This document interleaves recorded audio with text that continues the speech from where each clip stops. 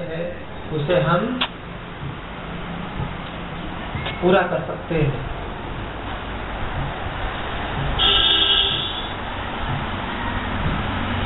अब धीरे धीरे आँखों को खोलने का प्रयत्न करते हैं।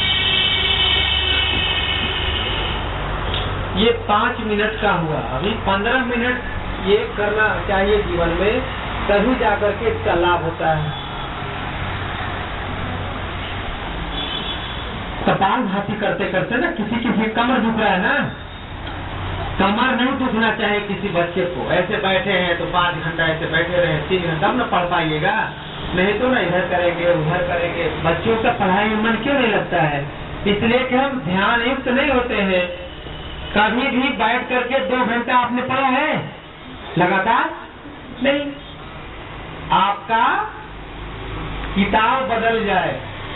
मैथ है, अंग्रेज़ी है साइंस है, संस्कृत है, लेकिन आसन नहीं बदलना चाहिए।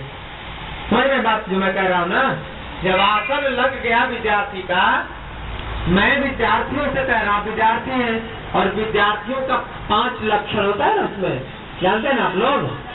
क्या क्या है? बोलिए। हाँ। हाँ।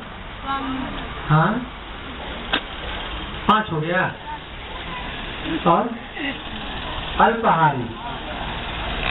मतलब कि गृह त्यागी होना चाहिए। कुत्ते जैसा स्वान निद्रा कुत्ता कभी भी गहरी नींद में रहता है, थोड़ा सा भी उसे आवाज़ मिले तो जग जाता है।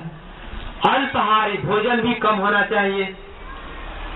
और क्या है? बको ध्यानम। बगुले जैसा ध्यान होना चाहिए। एकदम नज़र है और मछली जैसे ही दिखाई पड़े, पकड़ लिया।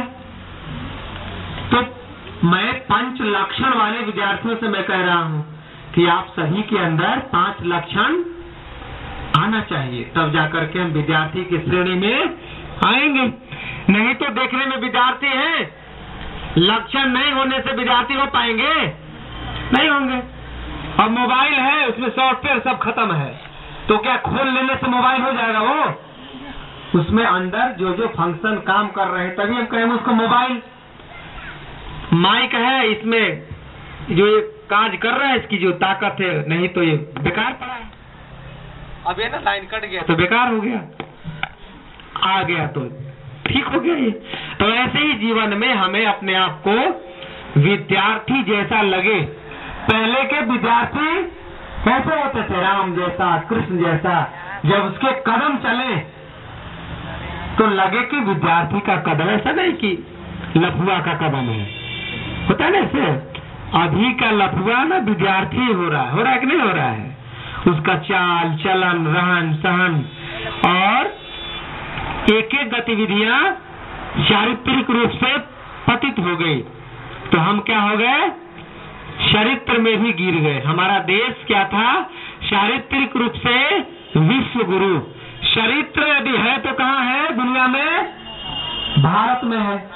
दुनिया में कहीं कोई चरित्र नहीं है। रिश्ता है तो कहाँ पे है? भारत में। वह भी हमारे प्राचीन, सनातन, वैदिक धर्म में है। किसी भी धर्म में कोई रिश्ता नहीं है। कोई माँ, बहन, भाई, कोई रिश्ता नहीं है। कोई किसी से साथ विवाह शादी कर रहा है। हमारे यहाँ हमारे यहाँ किसी भी माँ को और बहन को देखते हैं तो उसे, उसमें क्या देखते हैं? अपनी माँ और बहन देखते हैं। अब वो भी टूट रहे हैं ना अभी? अभी बच्चों में, विद्यार्थियों में टूट रहा है।